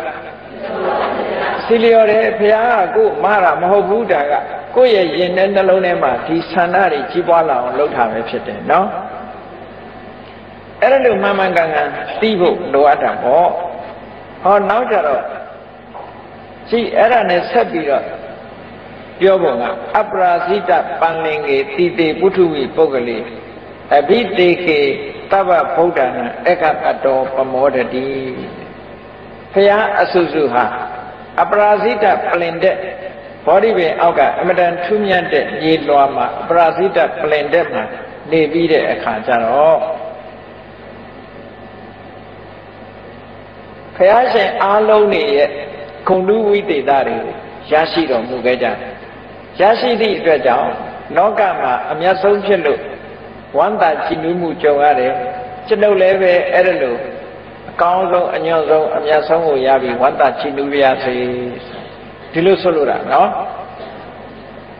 အေးအဲ့ဒါကြောင့်မလို့ဒီဖျားကိုအာယုံပြုပြီးတော့ဝမ်းမြောက်ဖွယ်ဖြစ်တဲ့ရင်နဲ့နှလုံးထဲမှာကြည်နူးဖွယ်ရာတွေကိုဒီလိုအာယုံပြုတာဟာ ဒါကရှေ့ပိုင်းကထက်သွင်းပြီးတော့နာနေပိုင်းမှာဆင်ញင်စဉ်းစားဖို့ဆင်ញင်စဉ်းစားဖို့ပြောတယ်အဲ့တော့ကောင်းသောနာနဲ့ခင်းဖြစ်ဖို့ကောင်းသောနက္ခတ်နဲ့ကြုံဖို့ဆိုတာဟာနက္ခတ်ဆိုတာကောင်းကင်ကနက္ခတ်တွေကိုကြည့်ပြီးဗေဒင်ဆရာတွေကတော့တွက်ကြလိုက်တယ်ပေါ့နော်ဒီကနေ့နက္ခတ်ကောင်းတယ်သို့မဟုတ်ရက်ကောင်းတယ်ရက်မကောင်းမှုနဲ့ပြောကြတယ်လေ ဒီနေ့ကပြတ္တရာကြီးဒီနေ့ကရက်ရစာနဲ့ဆိုပြီးတော့ရက်ကောင်းတယ်မကောင်းဘူးရွေးချတယ်မဟုတ်လားခဏအထိဗုဒ္ဓဘာသာတွေရွေးတော့ပဲရက်ရွေးတာဟာတော့နော်အစွဲလန်းဘလောက်ကြီးတယ်ဆိုတာကြည့်မြတ်စွာဘုရားကဟောထားတာရက်ရွေးခိုင်းတာမဟုတ်ဘူးရက်မရွေးခိုင်းဘူးမြတ်စွာဘုရားကဘာဟောလဲလို့ဆိုရင်သူနခတ္တံသူမင်္ဂလံသုပ္ပဘာတံသူဟုတ်ထိတံဒုက္ခနောသူမို့တော်စာသူဣဋ္ဌံဗြဟ္မစာရိတု ဘယ်နေ့ပဲဖြစ်ဖြစ်လက်ရသာပဲဖြစ်ဖြစ်ပြတ္တရာပဲဖြစ်ဖြစ်ဘယ်နေ့ပဲဖြစ်ဖြစ်ဘယ်နှက်ခတ်နဲ့ပဲရှင်းရှင်းနော်ကောင်းတဲ့အလုပ်တွေလုပ်လို့ရှိရင်ကောင်းတဲ့နှက်ခတ်လို့မှတ်ပါဒါပြောတာနော်မကောင်းတာလုပ်ရင်မကောင်းတဲ့နှက်ခတ်မနဲ့အိယာထားပြီးဒေါသထွက်နေမယ်ဆိုရင်အဲ့ဒါနှက်ခတ်ဆိုးနေပြီလို့သာမှတ်ပေးပါနော်မနဲ့အိယာထားပြီးတော့မေတ္တာပို့ပြီးတော့ဘုရားကိုအာရုံပြုစိတ်ကြည်နူးနေရင်ဒါကောင်းသောနှက်ခတ်ပဲ ကောင်းသောနှက်ခတ်ဖြစ်တယ်ဒီလိုဆိုလိုတာကောင်းငင်ကနှက်ခတ်ဆိုတာကိုယ်တည်းမဆိုင်ဘူးတဲ့950ဇတ်ထဲမှာလည်းအတိလင်းဆိုထားတာရှိတယ်နက္ခတံပฏิမာနင်တံအထောပါလံဥပိစ္ဆကာတချို့ကအေးဒီနေ့နက္ခမကောင်းသေးဘူးဒီလနက္ခမကောင်းသေးဘူးနက္ခမကောင်းလို့ဘာမှမလုံးနဲ့အောင်ဒီတိုင်းနေမလုံးနဲ့အောင်မလုံးနဲ့အောင်ဆိုင်းရင်ဆိုင်းရင်နဲ့ဒီပြင်လူတယောက်ကဥပြီးတော့ရသွားတယ်ကိုမလုံးလိုက်ရ ဒီလိုဟာမျိုးတွေခြုံတတ်တယ်ပေါ့နော်ကိုကနက္ခမကောင်းသေးလို့ဆိုမလုံးတယ်ဇန်တဲ့လူကနေပြီးတော့လှုပ်သွားဟောကိုမရလိုက်ဘူးအဲ့တော့ဘုရားလောင်းတွေကဗာပြောတယ်နက္ခတံပฏิမာနင်တံအထောပါလံဥပိ္ပစကနက္ခကောင်းတဲ့အချိန်ကိုမျောလင့်နေတဲ့လူမိုက်ကိုတဲ့အကျိုးတရားတွေကအကျိုးတရားတွေလက်လွတ်ဆုံးရှုံးသွားစေတယ် အထောအထတနက္ခတံကောင်းကျိုးချမ်းသာကိုလိုချင်တဲ့ဟာအရာဖို့ရအရေးကြီးဆုံးပဲတဲ့အဲ့ဒါဟာကောင်းတဲ့နက္ခတ်ပဲကိုလိုချင်တာရတာကောင်းတဲ့နက္ခတ်ပဲကိန်းကရိတန်တိတာရကကောင်းငင်ဘောကခြေတွေကခုဘာတတ်နိုင်မှလဲဒီလိုဆိုထားတာနော်အဲ့ဒါကြောင့်မလို့ပုဗ္ဗန္နတုတ်မှာမြတ်စွာဘုရားဟောထားတဲ့အတိလင်းနန္ဒခင်းမှာတဲ့အပြစ်ကင်းတဲ့ အတွေးတွေတွေးမယ်အပြစ်ကင်းတဲ့အပြောတွေပြောမယ်အပြစ်ကင်းတဲ့အလုပ်တွေကိုလုပ်မယ်ဆိုလိုတာကနန္ဒခင်းမှာကာယတုစရိုက်ဝစီတုစရိုက်မနောတုစရိုက်ဆိုတဲ့အကျင့်တရားတွေကျင့်ကြံကြုတ်ကိုအားထုတ်မယ်ဆိုရင်အဲ့ဒီနန္ဒခင်းဟာကောင်းသောနန္ဒခင်းမှာနေ့လက်ခင်းမှာကောင်းတာပြောတယ်ကောင်းတာတွေးတယ်ကောင်းတာပြောတယ်ကောင်းတာလုပ်တယ်ဆိုလို့ရှိရင်လေကောင်းတဲ့နေ့လက်ခင်းဖြစ်ပါတယ်ညနေခင်းမှာလည်းပဲအပြစ်ကင်းတဲ့ အတွေးတွေတွေးတယ်အပြစ်ကင်းတဲ့စကားတွေပြောတယ်အပြစ်ကင်းတဲ့အလုပ်တွေလုပ်လို့ရှိရင်ကောင်းသောညနေခင်းဖြစ်ပါတယ်ဒီလိုဆိုလိုတာနော်အဲ့ဒါကြောင့်မလို့ကောင်းတာလုပ်တဲ့ပုဂ္ဂိုလ်ဖို့ဟာဘယ်တော့ဖြစ်ဖြစ်လက်ခတ်ကအကောင်းမယ်တဲ့အဆိုးမရှိဘူးသို့တော့လူတွေကအကောင်းအဆိုးဆိုတာလက်ခတ်ကိုပဲသွားရှာတယ်ကိုယ့်ရင်ထဲကဟာကိုတော့မေ့နေတယ်စဉ်းစားကြည့်ကိုယ့်အကို ကိုယ်တဏ္ဍမှာဖြစ်နေတဲ့လောဘတွေဒေါသတွေမာမနာတွေအိတ်တာတွေကိုတော့အကောင်းထင်နေကြတာနော်အဆိုးကအဲ့ဒါအပင်ငရဲချတာသူတို့ကချတာနော်ဘယ်သူကမှကိုယ်လာဆွဲမခေါ်ဘူးဆွဲခေါ်သွားတာကကိုယ်ရင်ထဲဖြစ်တဲ့လောဘဒေါသတွေဆွဲခေါ်သွားတာလေကကဲကြည့်လောကမှာလူဆိုးဖြစ်တယ်ဒီဇာတုမှုကိုကျူးလွန်တယ်ဆိုတဲ့လူတွေဟာဘယ်သူကသူ့ကိုကျူးလွန်ခိုင်းတာတော့သူ့စိတ်ကပဲကျူးလွန်တာမဟုတ်လား သူ့တဏ္ဍာမှာဖြစ်တဲ့အကုသိုလ်တရားတွေကဒီအလုပ်တွေကိုလှုပ်စိတ်ခံရတော့ဘယ်သူခံရတော့သူပဲခံရတာပဲလေအဲ့ဒါကြောင့်မို့လို့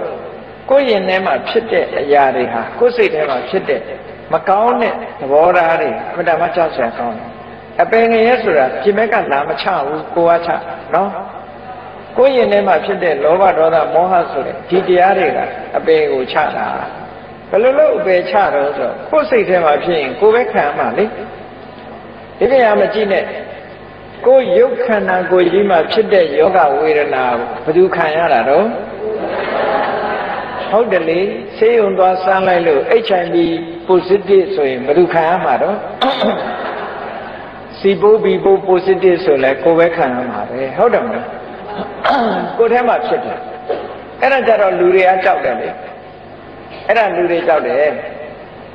ပြီးတဲ့ကြောက်စရာကောင်းတာဘာလို့ဆိုရင်ကိုယ့်ရဲ့စိတ်အစဉ်ထဲမှာ mental process တွေမှာဖြစ်နေတဲ့ positive တွေကပိုကြောက်စရာကောင်းတယ်စိတ်ထဲမှာဖြစ်နေတဲ့လောဘစိတ်ထဲမှာဖြစ်တဲ့ဒေါသစိတ်ထဲမှာဖြစ်တဲ့မောဟအိတ်တာတွေမာမနာတွေဒါတွေကပိုကြောက်စရာကောင်းတယ်ဒါတွေကသွားဆန်းလိုက်တဲ့ positive ဖြစ်နေဟုတ်ကဲ့အပင်ငရဲချတာသူတို့ကချတာ HIV ကလည်းပဲအပင်ငရဲမချဘူးစီပိုးဘီဘွားလည်းအပင်ငရဲမချဘူး ရုပ်ခန္ဓာမှာဖြစ်တဲ့ယောဂဝေဒနာဆိုတာဒီဘဝတစ်ခါပဲသိမှဘယ်သူမှနှစ်ခါသိတဲ့လူမရှိဘူးယောဂမရှိတဲ့လူရောမသိဘူးလားသိတာပေါ့သူကတော့အရင်သိရင်သိသွားတာတစ်ခါတည်းယောဂရှိတဲ့လူကတမြင်းမြင်းနဲ့မသိတဲ့လူကရှိသေးတယ်နော်ယောဂရှိလဲတူတူပဲမရှိလဲတူတူပဲသိမှဟာတူတူပဲသိတာရှိပဲတဘဝမှာတစ်ခါပဲသိချတာပဲနော်အဲ့တော့တကယ်ကြောက်စရာကောင်းတာက ရုပ်ခန္ဓာမှာဆွဲကပ်တဲ့ယောဂမဟုတ်ဘူးစိတ်မှာဆွဲတဲ့ယောဂကြောက်စရာကောင်းတာအဲ့တော့ကုသနာမှာလောဘတွေဒေါသတွေမောဟတွေဒါတွေကိုနဲအောင်ခྱူးဆိုင်တာဆိုလို့တယ်နော်အဲ့ဒါလို့ဆိုလို့တာအဲ့ဒါလို့လောဘဒေါသမောဟတွေနဲအောင်ကြိုးစားတဲ့အချိန်ဟာသူ့နဲ့ခတ်တန်ကောင်းသောနဲ့ခတ်ပဲတဲ့ကိုယ်သူ့မင်္ဂလာမင်္ဂလာရှိဆုံးအချိန်ပဲတဲ့အဲ့ဒီအချိန်နော်စိတ်ဆိုးနေတဲ့အချိန်ဟာမင်္ဂလာမရှိဆုံးအချိန်ပဲလို့ဒီလိုမှတ်တာ စိတ်မဆိုးဘူးမေတ္တာဘာဝနာပွားနေတယ်တယောက်နဲ့တယောက်ပြင်းပြင်းများများရှိနေတယ်မိတ်ဆွေပဲပြတ်ဘူးဆိုရင်ကောင်းမင်္ဂလာရှိတဲ့အချိန်တစ်ခုပဲလို့ဒီလိုမှတ်ဥပ္ပခါတံဖရာတရားတန်ခါကိုအာယုံပြုပြီးတော့နိုးလာလို့ရှိရင်ကောင်းသောမိုးတောက်ခြင်းနဲ့ကောင်းသောနနဲ့ခင်းဖြစ်လာတယ်သူ့ဝုထိတအိယာကနိုးထလာတဲ့အခါနော်နှုတ်ခမ်းကြီးစူပြီးတော့နိုးထတာမဟုတ်ဘူး အများတ attva တွေချမ်းသာကြပါစေဆိုတဲ့အတွေးလေးနဲ့နိုးထလာရင်ဒါအကောင်းဆုံးအိယာကထားခြင်းပဲဖြစ်တယ်ပေါ့အဲ့ဒါလို့နေ့စဉ်နဲ့မြကိုယ့်ဘဝမှာအကောင်းဆုံးမိုးတောက်ချိန်ဖြစ်ဖို့နဲ့အကောင်းဆုံးအိယာကထားခြင်းဖြစ်အောင်မကြိုးစားသင့်ဘူးလားကြိုးစားရမှာဒါတွေကိုဖြစ်အောင်ကြိုးစားနော်အဲ့ဒါလို့ကြိုးစားဖို့ဆိုလိုတာဒါတွေကဘာတဲ့အရေးကြီးတော့ဆိုရိတ်တာသွားပြီးတရားဝင်ဖို့တဲ့အရေးကြီးတယ် နေ့စဉ်လုပ်နေတဲ့အလုပ်တွေကဟုတ်ကဲ့လားကိုယ်အိမ်မှာနေထိုင်ရင်နဲ့ကောင်းသောမိုးတောက်ဖြစ်ဖို့ကောင်းသောနှက်ခတ်နဲ့ကြုံတဲ့အချိန်ပိုင်းဖြစ်ဖို့ကောင်းတဲ့မင်္ဂလာရှိတဲ့အချိန်ဖြစ်ဖို့ရာဘုဒ္ဓနာမှာကောင်းတဲ့စိတ်ဓာတ်တွေဖြစ်နေအောင်ကြိုးစားရမယ်မေတ္တာပွားနေမယ်အစင်မပြေတဲ့သူတွေကရုဏာထားမယ်အစင်ပြေတဲ့သူတွေပေါ်မှာမုဒိတာပွားမယ်ဆိုရင်ဒါအမှန်တမ်းကောင်းမြတ်တဲ့စိတ်တွေလို့ဒီလိုပြောတာနော် အဲ့ဒါလို့နေလို့ရှိရင်ဒုက္ခနောသူမှုဟုတ်တော်စာမေတ္တာပို့တဲ့အချိန်လေးကုသိုလ်ရတဲ့အချိန်လေးဟာအကောင်းဆုံးအချိန်လေးပဲအကောင်းဆုံးအချိန်ပိုင်းလေးအဲ့ဒါလို့အကောင်းဆုံးအချိန်ပိုင်းကလေးတွေကိုယ်တဏ္ဍမှာအများကြီးဖြစ်လာအောင်လုပ်ဖို့လိုအပ်တယ်ဒီလိုဆိုလိုတာသူရိဋ္ဌံဗြဟ္မစာရိတုအချင်းစာရိတ္တကောင်းတဲ့ပုဂ္ဂိုလ်တွေကိုပေါ်မှာဒါနကောင်းမှုလုပ်တဲ့အချိန်လေးဟာကိုယ့်အတွက်အကောင်းဆုံးအချိန်လေးပဲဟော ဒါကမြတ်စွာဘုရားဟောတဲ့ခါတာကောင်းသောနနခင်ဆိုတဲ့အဓိပ္ပာယ်ရအောင်မြတ်စွာဘုရားဟောတာအဲ့တော့အတူချုပ်ပြောလိုက်မယ်ဆိုလို့ရှိရင်လူတွေမှာလှုပ်ရှားမှုနဲ့လှုပ်ရှားမှုလှုပ်ဆောင်မှုကဘယ်နှခုရှိတော့ဆိုရင်စိတ်နဲ့တွေးတာလည်းပဲစိတ်နဲ့လှုပ်တယ်လှုပ်တယ်လို့ခေါ်တယ်မနောကံလို့ခေါ်တယ် ကိုနှုတ်ကနေပြောတာကြတော့ဝစီကံလို့ခေါ်တယ်ကိုဒီလက်ရောက်လှုပ်တာကြတော့ကာယကံလို့ခေါ်တယ်စိတ်ထဲကနေပြီးတော့ဒီတောင်းတတာကိုကြတော့ပဏိတိလို့ခေါ်တယ်အဲ့ဒါတွေဟာကုသိုလ်နဲ့ရှင်ပြီးတော့လုပ်မယ်ဆိုပါတော့ကာယကံအနေနဲ့ကောင်းတဲ့ကာယကံနဲ့ဘယ်လိုလုပ်တုံးဆိုအရာထဲမှာကိုလမ်းလျှောက်သွားတာပဲဖြစ်စေလမ်းလျှောက်သွားရင်ကနေပြီးတော့အော်ဘယ်သူမှခလုံးမထီစူးမကြီးကြပါစေနဲ့ ခဲလေးတွေဖယ်သွားတယ်ဆူးလေးတွေဖယ်သွားတယ်လောက်တာလောက်ပုံပြောတာအသေးစိတ်ကစပြီးတော့နော်ကာယကမေတ္တာတွေထားတယ်နှုတ်ကလည်းဝစီကမေတ္တာတွေထားတယ်စိတ်ကလည်းပဲမနောကမေတ္တာတွေပွားတယ်ဩကုသိုလ်တွေနဲ့ကာယကဝစီကမနောကကုသိုလ်တွေဖြစ်နေလို့ရှင်အဲ့ဒီကုသိုလ်တွေဟာကိုယ့်အတွက်ကြီးပွားကြောင်းအမှုတွေကြီးပဲဒါကြောင့်မို့လို့ပဋက္ခိဏံကာယကမ္မ ကုသိုလ်နဲ့လုပ်တဲ့ကာယကံတွေမှန်သမျှဟာပဋက္ခိဏတိုးတက်ဖို့ကိုကြီးပွားဖို့တိုးတက်ဖို့ပဲဖြစ်တယ်။ကောင်းကြီးပွားတယ်တိုးတက်တယ်ဆိုတာဒီနှိမ့်ကြတဲ့အနေအထားတစ်ခုကနေပြီးတော့အစစ်မြင့်လာတဲ့သဘောကိုပြောတာနော်။အစစ်မြင့်လာတဲ့သဘောကိုပြောတာ။ပဋက္ခိဏံကာယကမ္မဝါစာကမ္မပဋက္ခိဏံကိုပြောတဲ့စကားကလည်းအပြစ်ကင်းတဲ့စကားဆိုလို့ရှိရင်ပဋက္ခိဏကြီးပွားတိုးတက်ဖို့ဖြစ်လာတယ် ပဋက္ခိဏမနောကံစိတ်ထဲကကြံစီတဲ့အမှုတွေကလည်းပဲကြီးပွားတိုးတက်ဖို့အတွက်ဖြစ်လာတယ်ပဏိတိတိပဋက္ခိဏဩကိုယ့်ရဲ့စိတ်ဆန္ဒတွေစိတ်ထဲကတောင်းတမှုရည်တန်မှုတွေဟာလည်းပဲကြီးပွားတိုးတက်တဲ့ရည်ရွယ်ချက်တွေ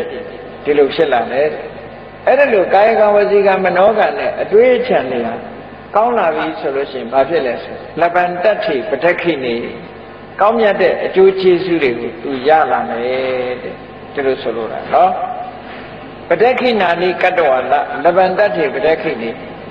လှုပ်တဲ့အလုပ်ကကုသိုလ်တွေလှုပ်တာကုသိုလ်တွေဆိုတာကြီးပွားတိုးတက်ခြင်းရဲ့အကြောင်းလူတယောက်ဟာစီးပွားလုံးလို့စီးပွားဖြစ်လာပြီဆိုလို့ရှိရင်ပထမဆင်းရဲတဲ့ဘဝကနေပြီးတော့ကြိုးစားလိုက်တဲ့အခါတိုက်အိမ်ကနေတဲအိမ်လေးကနေပြီးတော့တိုက်အိမ်ဆောက်လာနိုင်ပေါ့ စပိန်လေးဝယ်ရကနေမော်တော်ဆိုင်ကယ်ဝယ်လာနိုင်မော်တော်ဆိုင်ကယ်ကနေပြီးတော့ကားဝယ်လာနိုင်ဟောမြင့်မလာဘူးလားစီးပွားရေးနဲ့ပတ်သက်ပြီးတော့အဲ့ဒါလို့မြင့်လာသလိုပဲစိတ်တွေစိတ်ထားတွေကုသိုလ်တရားတွေကိုလည်းတိုးမြင့်တိုးမြင့်လုပ်တဲ့အခါလူတယောက်ဟာမြင့်မြင့်မြင့်မြင့်လာတာပဲဘဝနော်ဘဝတစ်ခုနဲ့တစ်ခုကသူကမြင့်မြင့်သွားတယ်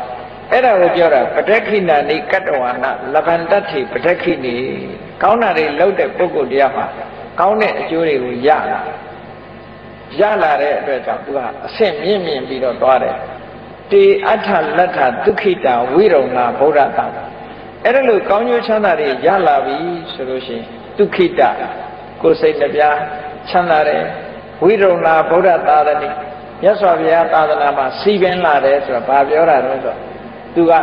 ကိုချင်းသီလတွေနဲ့လည်းပြည့်စုံလာတယ် ကမ္မထာနေနှလုံးသွင်းလာနိုင်တယ်ဘာဝနာကျင့်စဉ်တွေကျင့်လာတယ်နော်ဘာဝနာကျင့်စဉ်တွေကျင့်လာလို့ဝိပဿနာတရားတွေအချိန်ချင်းအထုတ်လာနိုင်တယ်ဟောတိုးတက်လာ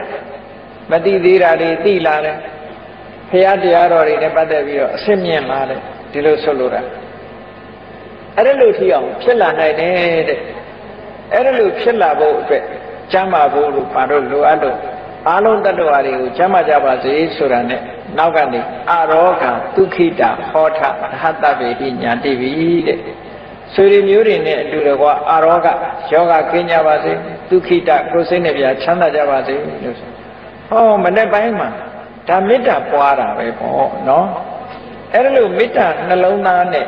ကိုယ်ဟာနေတိုင်းပြီဆိုလို့ရှိရင်ကိုယ့်ရဲ့စိတ်ကလေးဟာဗဒမစင်ကြယ်လာစင်ကြယ်လာတဲ့စိတ်ကလေးနဲ့ကုသိုလ်တွေဖြစ်လာလို့ရှိရင်ခုနကပြောခဲ့တဲ့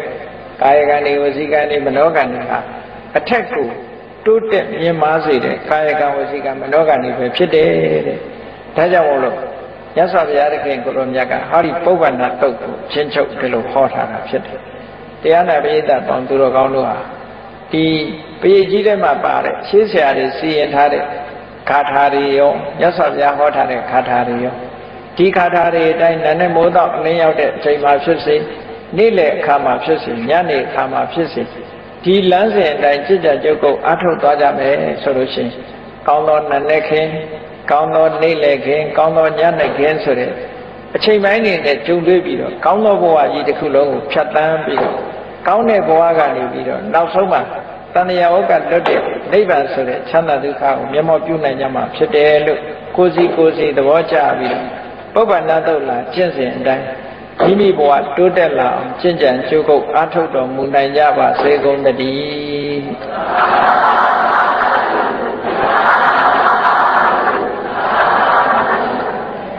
ကဲမေတ္တာပို့ရ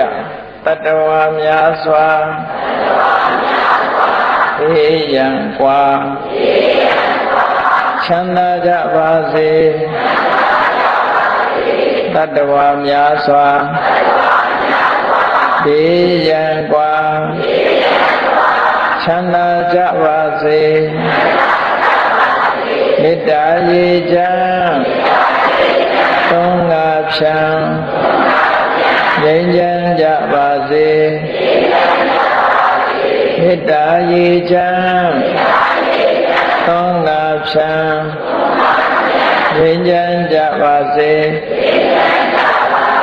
ပဲရှိချမ်းမာစိတ်ချမ်းသာလူရဆန္ဒပြည့်ပါစေပဲရှိချမ်းမာစိတ်ချမ်းသာဒုရဆန္ဒပြည့်ပါစေဘုံလန္တဒုက္ခပင်ကစားမေတ္တာပုံနေတုသင်္ကမ မနောတရာတိတပေတံပဝါယန္တုဒုက္ခန္တကမေတ္တာပုံနေတုသင်္ကမစုပေါင်းပုအပ်မေတ္တာတဟုရောင်ဖြူပါဝင်ငွေလာမင်းနှင့်ရောင်ချင်းရှက်ယုံပေါင်းဆောင်ရခြင်းကြောင့်သဗ္ဗေတံကျွမဲ့ဥတ္တုံလုံးစုံများစွာတတ္တဝါတို့၏မနောတရာတိမြင်မြဖြူစင်အေးချီလင်းသည့်ရေစင်ပြည်တင်းစိတ်နှလုံးတွေဟူသော ရေအိုင်ကြီးအတွင်၌ ဒုက္ခပင်ကသာစင်ထာဝရအေမြจิตာတာယာပွင့်လန်းချမ်းသာဒုက္ခတိဟုသောကုမုဒ္ဒရာကြာပန်တို့သည်ဖောလန္တဝန္တာရှင်မြူဝမုံလူလည်းရဲ့ခြေလူွယ်ကြုံဖူးပွင့်ညအကုန်သည်ဖြစ်၍သူကဏကလေအောင်လေးတဲ့ရောရှက်သင်ပြပီတိတိဟုသောယနန္တို့သည်ဘဝယံတုကောင်းစွာမသွေကြိုင်နိုင်၍နေကြပါစေကုန်တည်း